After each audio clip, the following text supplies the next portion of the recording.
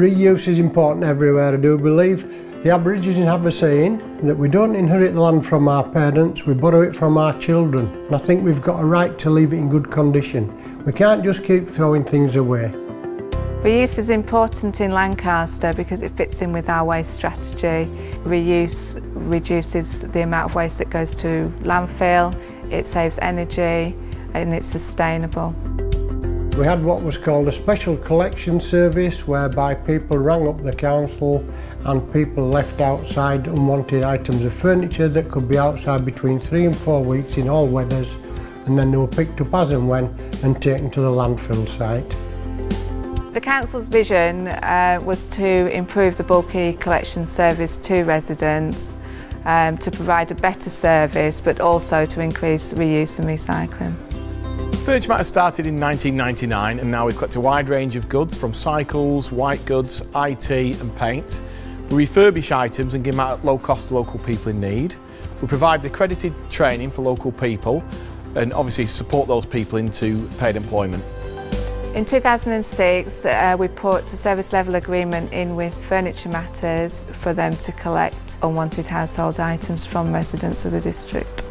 The service level agreement is a partnership agreement where each partner provides the part of the service that they do best. Lancaster provide the vehicles and the fueling, Furniture provides the staffing and the overall it reduces the cost of the service. The arrangement with Furniture Matters are that they provide the service whereby they will collect items within three days and they will actually go in houses to collect items and they do it by appointment as well. So rather than something being stuck outside a house for four weeks, it's collected on an appointment system within three days. Bulky waste items are brought back to the sorted centre and separated out into different waste streams. Items for reuse, items that need repair before they're reused, items that are recycled and items that go into landfill. So initially these items would have gone straight to landfill. By us saving them from landfill, we can give them out to local people in need. We can use them as a tool to provide accredited training in domestic appliance repair, PC build, furniture restoration repair. And obviously people with accredited qualifications can then help support them into paid employment as well. The key benefits of working in partnership with Furniture Matters is that we've been able to increase reuse and we've also got a customer satisfaction survey of 99%.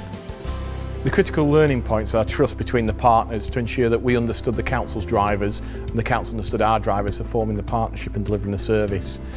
Another one important one was staff training to ensure this is a frontline service that's been delivered to households and our staff representing both ourselves and Lancaster City Council to make sure they're well trained and understand customer service.